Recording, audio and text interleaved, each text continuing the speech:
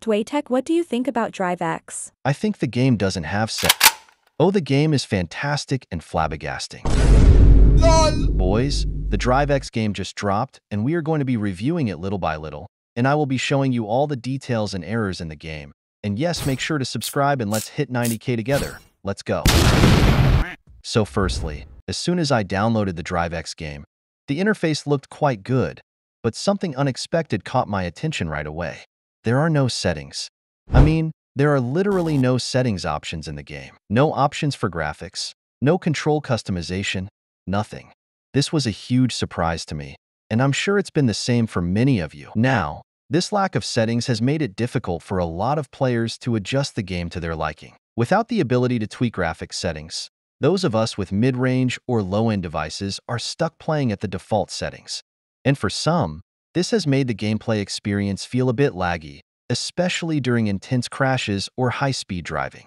I have seen lots of comments about the laggy gameplay in DriveX, and I think it is because there are no settings where players can adjust their graphics settings that suits their device that has made many players to feel a laggy gameplay. So from what I've seen online, I think the developers needs to look into it. Some players have expressed their frustration, saying that the lack of settings makes it nearly impossible to enjoy the game to its fullest.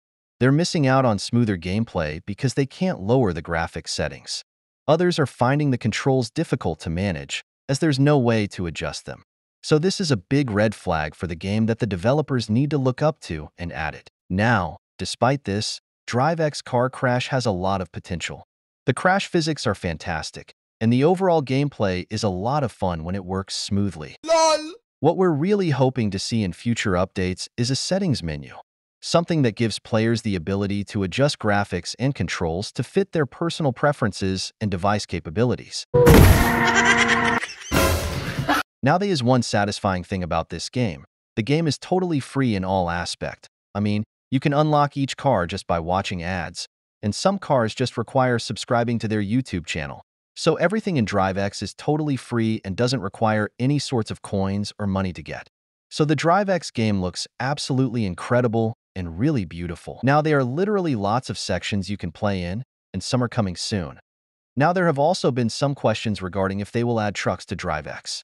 Well, yes, trucks will be added in the modding section, where you can download and add mods, and yes, the section is currently closed for now, but as soon as the game continues to update, the developers will give access to the modding options, and we would get to drive truck and even buses, depending on what we request for. Now talking about the soft body crash physics in DriveX, I've spent some time playing it, and I have to say, the crash physics are absolutely insane.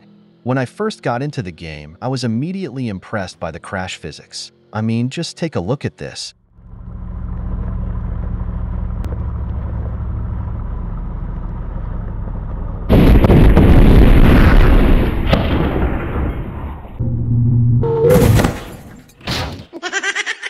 So the Drive X also has a very realistic soft body crash. Like you can even see airbags pop up as soon as you crash. Now, in order to make things simple for the developers, I have come to notice that most of the lags players experience was in this map called Utah, because some players have noticed that when the crash in any of these rocks their gameplay becomes laggy. So the developers needs to look into the Utah map and optimize it, because I know the developers are watching this. Also, the game doesn't seem to have an interior camera angle, which players have also requested. You know, to make us feel the crashes in the interior viewpoint. So all these is what I have found out about the DriveX, and hopefully, they will be fixed because this is just the alpha version of the game.